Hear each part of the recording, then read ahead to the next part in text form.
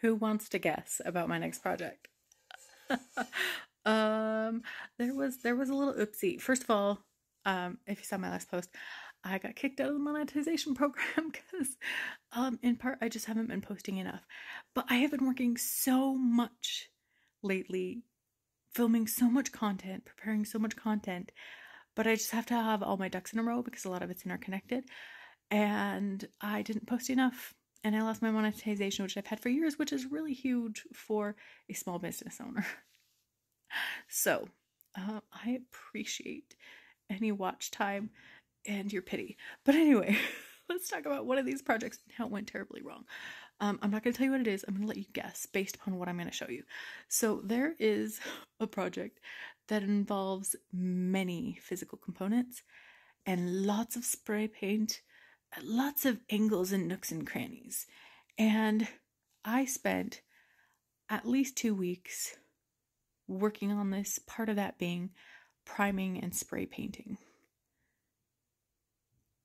And finally, at the end of that, two hours, two hours before the final layer on the final pieces was supposed to be cured I hear thunder outside.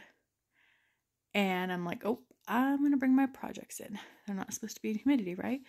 Uh, I don't want them rained on, even though they were kind of protected. Uh, I go, I go outside, and my boxes that were set on stairs outside, um, that have the components in them that I, you know, I use the the box to protect everywhere from the spray paint.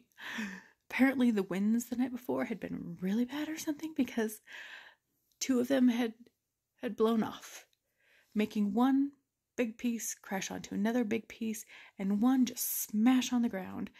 And they're metal components, but it scratched all the way down to the final or to the original finish um, or to raw metal. So reprime and respray paint and and you know I should have done a better job of like pr- protecting it because there was a, a lot of primer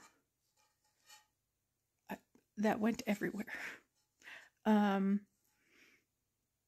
and so I have to repaint even more of the pieces. Um I'm not crying, you're crying. And the frustrating thing too is after I got the primer on, like immediately storm crowd storm clouds, I can't talk, came on in and have been here like all week. And you're not supposed to spray paint in high humidity. I live in a desert, so it's usually like cool. It's gonna be like 95. This is gonna dry super great. But when those stormy times hit, rude. anyway, so I have like I was in the home church two hours after more than two weeks, guys two hours left and I realize my project is destroyed. Um, so anyway, I'm going to show you the component. Uh, as you can see on this side, it's supposed to be black, except for that's not a pristine black anymore because some of the primer got inside. It wasn't trying to get that inside, but you know, excited to respray paint the inside too. Um, here's the back side. It had gashes on the back uh, because of how it landed on another piece of metal. So had to respray that. And I think it maybe had some dings on the sides too. Uh, I'm gonna have to spray that again.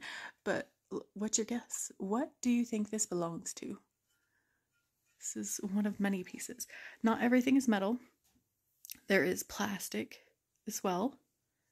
Different kinds of plastic too. Uh, yeah. So that's my sob story. I lost my monetization. I lost my project in last stretch. Um, and you know what?